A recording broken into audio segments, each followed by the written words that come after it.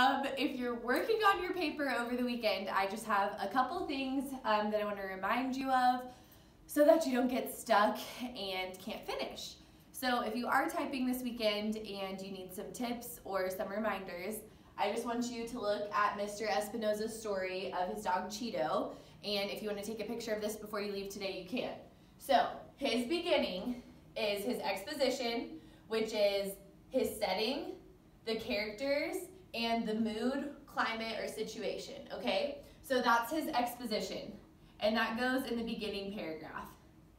And it's labeled beginning on No Red So that's Mr. Espinoza's exposition, okay?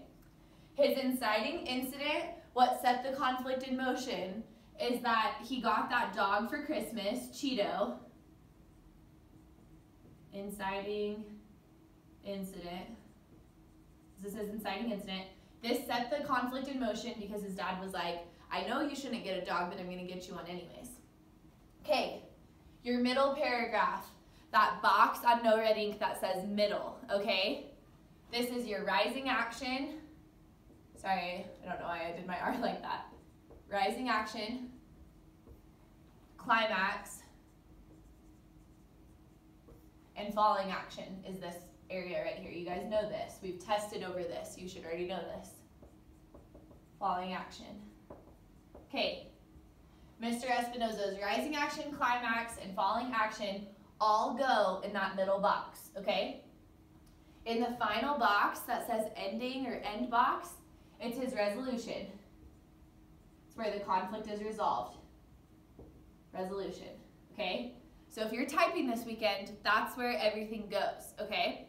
Um, there's one more thing I want to add. On No Red Ink on Monday, we're going to be labeling each section of your essay. So before the exposition, you'll put the word exposition and you're going to bold it and um, underline it, and then there, there will be your exposition underneath it. And then you'll do another heading title, inciting incident. You're going to make it bold and underline it, and then it'll be your inciting incident. So I will explain how to do that on Monday, and we'll do it as a class together on the board. Um, but this is how your paper should be typed out on no red ink. And um, I hope that was helpful and I hope you guys have a great day.